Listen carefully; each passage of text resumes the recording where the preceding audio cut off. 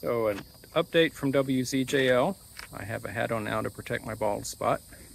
And um, they found moisture up at the top of the antenna, but not in the line.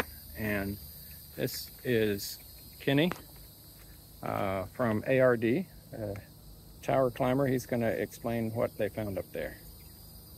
Well, we found um, uh, a pressure release valve um, leaking water into the top of the antenna and it seems to have isolated itself to the top of the antenna and I have no explanation for that because it's a hollow system uh, basically hollow with an interbay line and, and nothing to stop water from migrating down in, into the uh, lower elements of the antenna and the coax itself. And why would that matter if water was in the coax? Uh, it would uh, it would absolutely uh, terminate uh, the, the, the power going into the antenna with the It'd ruin it. the VSWR would uh, increase and it would shut the transmitter down. So if the water was down in the coax, we'd have to replace. The coax, absolutely.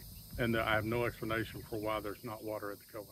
It didn't flow down. Didn't didn't flow down. Well. it, it stopped and um, uh, contained itself so far to the top element. There may be some residual moisture down lower, but nothing made it to the coax itself, which is As um, far as we can tell. was outside of Yeah. anything I've ever seen before in 37 years of dealing with antennas and coax and FM and TV and anything right. anything that applies. Well, we praise the Lord for that. Another Absolutely. miracle story at WZJL. Absolutely.